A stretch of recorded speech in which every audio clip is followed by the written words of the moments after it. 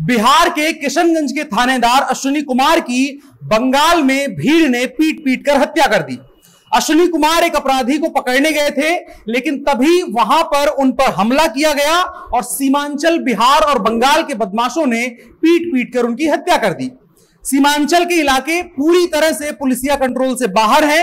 एक आंकड़े के मुताबिक वहाँ लगभग साढ़े तीन सौ मामले के आरोपी पुलिस की गिरफ्त से बाहर हैं और उनमें से अधिकतर हत्या के आरोपी हैं। इसकी वजह क्या है कि बिहार का एक बहुत बड़ा इलाका आज भी सामान्य कानून व्यवस्था से ऊपर चल रहा है। उसकी वजह है बंगाल, बांग्लादेश और नेपाल की सीमाओं से होने वाली घुसपैठों पर रोक टोक का ना होना। इस घुसपैठ पर नीतीश कुमार जी कहते हैं कि किसमें दम है कि हमारे लोगों को बिहार से बाहर निकालेगा? जबकि भाजपा समेत कई दल वहाँ एनआरसी के पक्षधर हैं। कारण है कि वहाँ पर एक बहुत बड़ी मुस्लिम आबादी है, जो यहाँ के मूल नागरिक नहीं है। बल्कि वो नेपाली और बांग्लादेशी घुसपैठिए हैं और ये अपराधी बस बिहार तक सीमित नहीं है, बल्कि ये सीमांचल के तराई क्षेत्र और नेपाल के रास्ते उत्तराखंड और उत्तर प्रदेश पहुँचते हैं।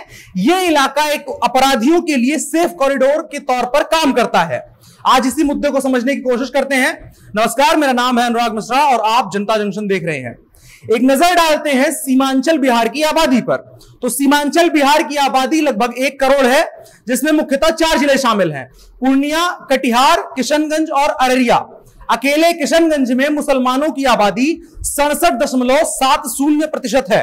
कटिहार में तिरालीस प्रतिशत, अररिया में चालीस प्रतिशत और पूर्णिया में अड़तीस प्रतिशत।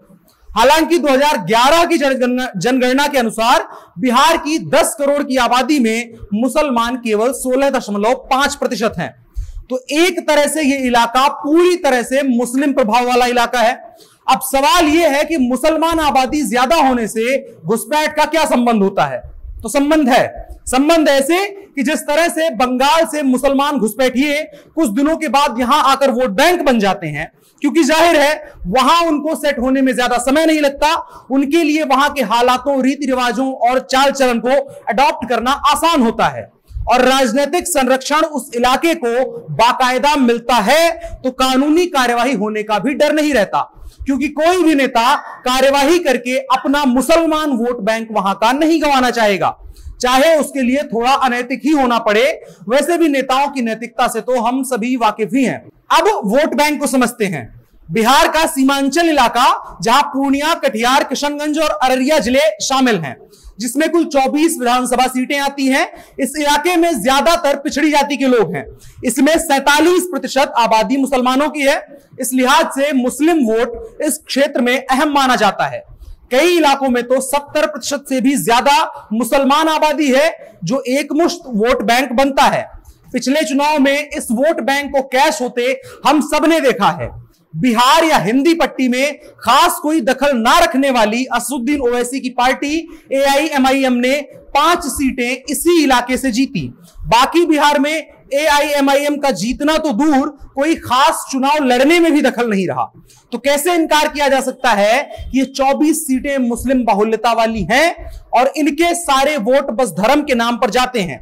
एआईएमआईएम का पाँच सीटें जीतना इस बात का बेहद स्पष्ट सबूत है। इसलिए कोई भी राजनीतिक पार्टी इस वोट बैंक को डिस्टर्ब नहीं करना चाहती एनआरसी या घुसपैठ को रोकने की बात करके। क्योंकि आज का घुसपैठिया, हत्यारा और अपराधी, कल को उनका वोटर है। बंगाल में ये सब चीज़ें हमने देखी हैं पिछले 20 से 30 सालों में कैसे बदली हैं। खैर, लौट करके आते हैं घुसपैठ पर। बिहार सरकार के मंत्री और बीजेपी नेता राम सूरत राय ने दावा किया है कि सीमांचल के इलाके में स्थानीय लोगों की मदद से घुसपैठ हो रही है। नीतीश के मंत्री का यह भी कहना है कि इसके लिए घुसपैठिए विदेशों से मिलने वाले पैसे से सीमांचल के इलाकों में जमीनें खरीद रहे हैं, जो आने वाले समय में बिहार के साथ साथ देश के लिए खतरा बन सकते हैं। पूर्णिया, अररिया और भागलपुर दौरा के दौरान स्थानीय लोगों ने उन्हें जानकारी दी कि उनके इलाके में एक विशेष समुदाय के स्थानीय लोगों द्वारा बाहरी लोगों का घुसपैठ कराया जा रहा है, उसमें मदद की जा रही है। साथ ही उन्होंने यह भी कहा कि वहाँ दलालों द्वारा फर्जी कागजात के आधार पर घुसपैठियों को ज़मीन उपलब्ध कराई जा रही है। लेकिन वही जो ऊपर कहा कि राजनीतिक वोट बैंक को कोई डिस्टर्ब नहीं करना चाहता, इसलिए बाकी सभी पार्टियाँ इस बयान को फालतू और बेकार बता रही हैं, या तो इससे किनारा काट रही हैं। जबकि आंकड़े चीख चीख करके कह रहे हैं कि सीमांचल में सब कुछ ठीक नहीं है।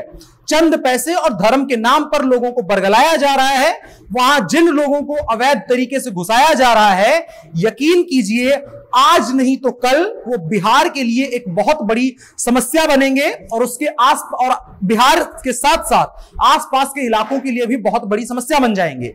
ये अगर आज एड्रेस नहीं किया गया तो नीतीश सरकार जिस जंगल राज के इतिहास की बात करती है, जिससे निकालने की बात करती है, आने वाले समय में आप सीमांचल बिहार के ज़रिए उसको पूरे बिहार और आसपास के इलाकों में बोने का काम करेंगे। खैर, संभालिए बिहार को और खास करके अभी के लिए सीमांचल बिहार को और इस दिशा में पहला कदम बढ़ाएँ ये कि इस वीडियो को शेयर करें ज़्यादा से ज़्यादा लोगों तक। धन्यवाद। अगर आप ये वीडियो यूट्यूब पर देख रहे थे तो जनता जंक्शन को सब्सक्राइब करें। अगर फेसबुक पर देख रहे थे तो चैनल पेज को लाइक करें। धन्यवाद।